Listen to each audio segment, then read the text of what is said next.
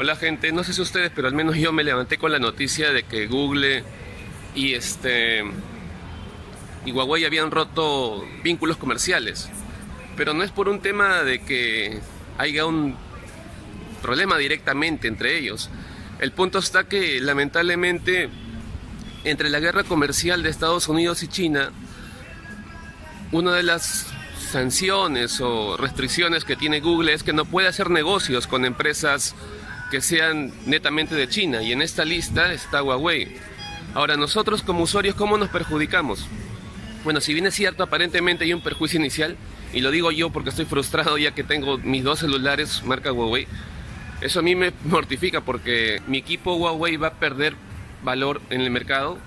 Bueno, lamentablemente sí, pero no va a dejar de valer. O sea, lo que pasa es que lo que va a hacer que pierda valor va a ser la especulación comercial. La gente va a decir, uy, ya no va a haber YouTube en Huawei, no va a haber Google Chrome, no va a haber Play Store. Y si no hay Play Store, ¿qué voy a poder descargar?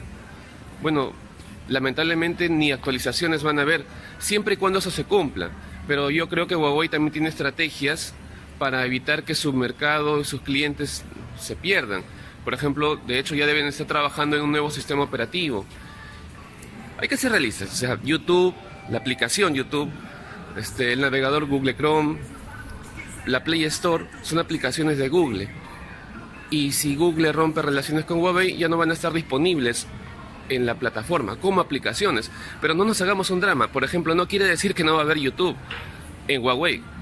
Solamente que cuando Huawei reemplace su, su navegador web, su sistema operativo, en el peor de los casos tú igual vas a poder entrar a las aplicaciones que eran de Google a través del Internet Explorer, o bueno, perdón, el navegador. Ahora, ¿cuál es la ventaja de esto? ¿Por qué a nosotros nos sirve? Nos sirve porque dentro de un cambio siempre se van a generar nuevas oportunidades.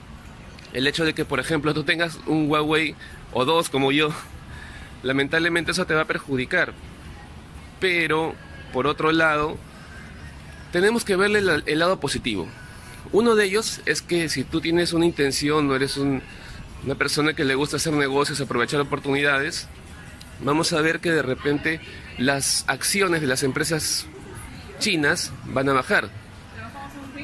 Y en segundo lugar, las empresas que no son de China, ponte India, Japón, que no están involucradas en la guerra comercial de Estados Unidos y China, van a ver que sus acciones van a crecer.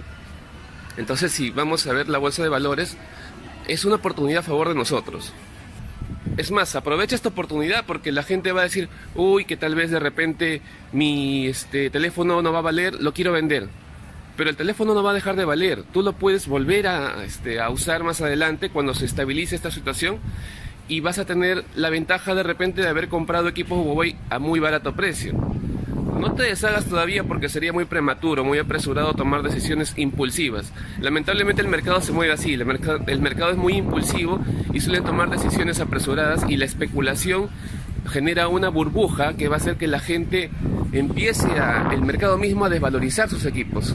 Pero con calma, nosotros tenemos que ver la oportunidad entre este cambio. Es más, por ejemplo, yo no sé qué tan perjudicial puede ser la cosa porque inclusive hasta he recomendado Huawei a algunos amigos y me pongo a pensar cuánta gente que me ha escuchado decir que es buena marca habrá comprado un Huawei para ellos o para un familiar. Inclusive de repente en el Día de la Madre alguien le ha comprado un celular a su mamá y qué bonito momento, pero al día siguiente, ¡pum!, ya no va a valer el equipo. Bueno, no es que no valga, sino que la gente puede pensar que el equipo va a perder valor. Pero como te digo, eso no va a pasar. Sería crear un caos. Y yo sé que Donald Trump es un poco rayado, pero no va a generar un caos comercial que también va a perjudicar a Estados Unidos. Todo cambio relativamente es bueno, así que no se preocupen. Si bien es cierto, si tienes un equipo Huawei, empiezas este cambio en desventaja, te puede ir bien. Hay que aprovechar las oportunidades nada más.